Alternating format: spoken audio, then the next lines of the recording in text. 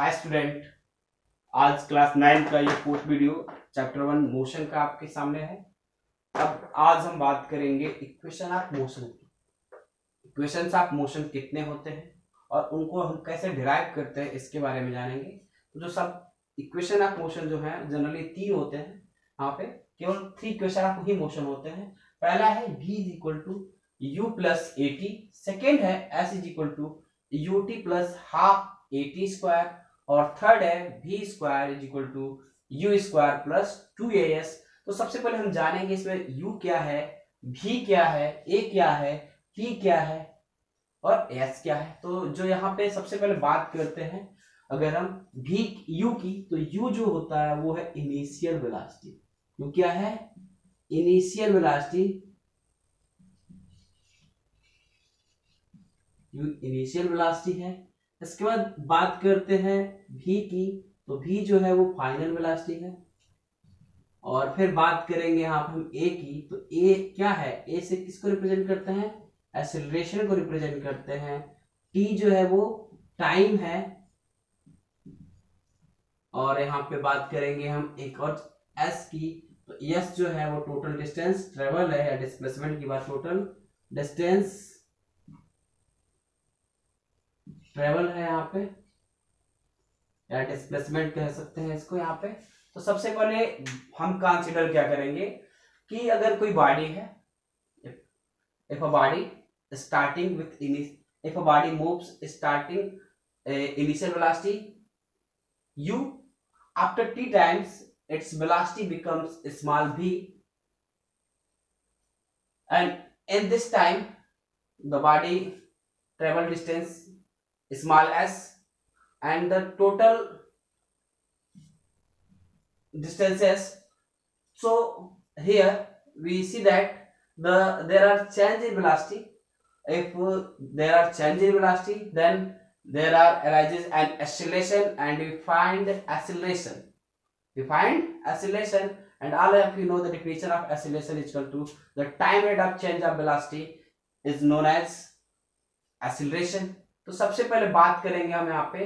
अब three equation of motion है तो सबसे पहले फ़र्स्ट इक्वेशन ऑफ़ मोशन को हम कैसे डिराइव करें? तो फ़र्स्ट इक्वेशन ऑफ़ मोशन को डिराइव करने के लिए क्या करते हैं? सबसे पहले आपको पता है एसिलेशन इज़ इक्वल टू क्या होता है? Acceleration acceleration is equal to change in velocity upon time interval. और जब बात करेंगे यहाँ पे एक्सेलरेशन को किससे रिप्रेजेंट करते हैं? ए से। और चेंज इन वेलोसिटी कैसे निकालते हैं?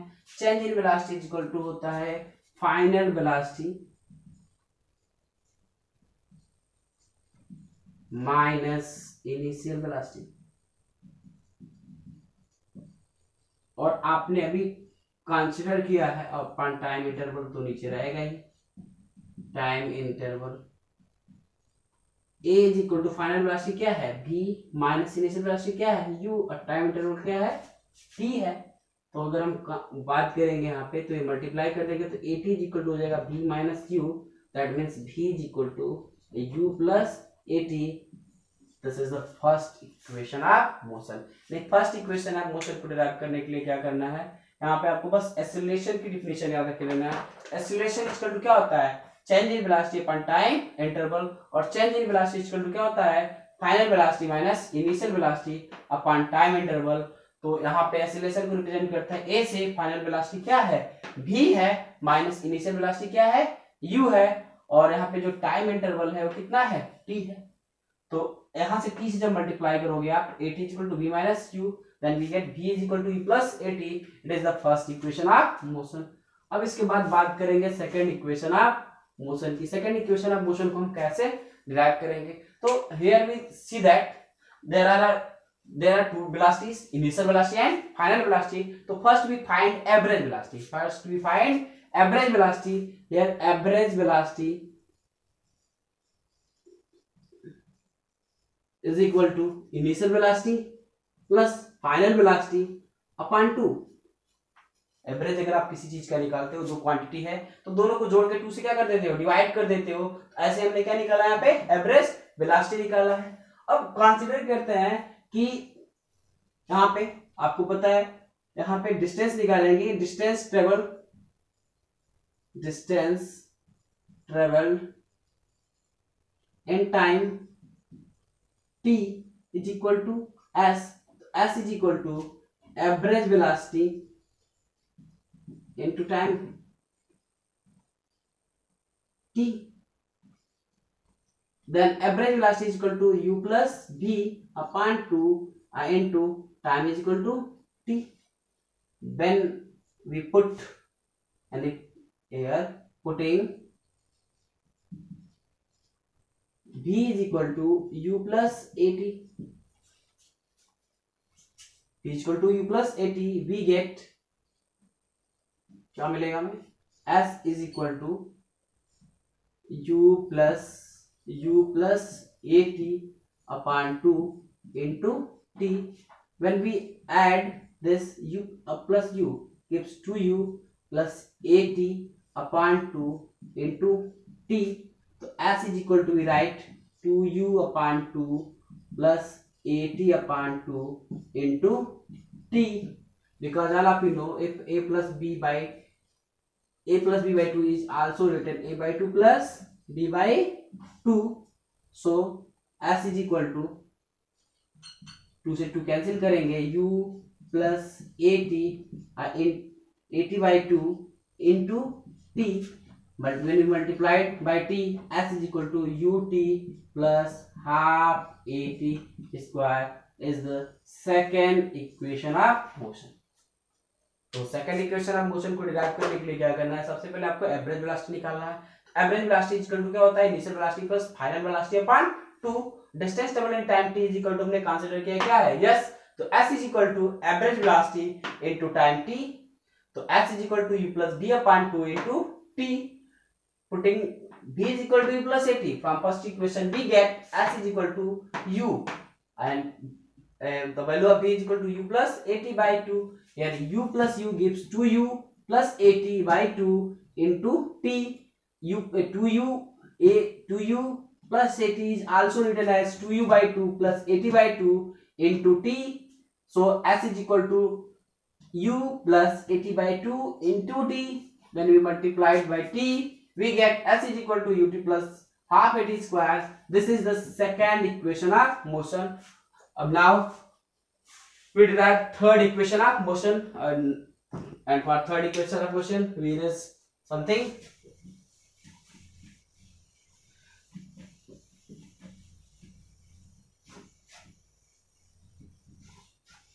generally we derive third equation of motion in simple way we squaring यानी first third equation of motion we also know that v is equal to u plus 80 we also know that v is equal to u plus 80 squaring both up squaring both side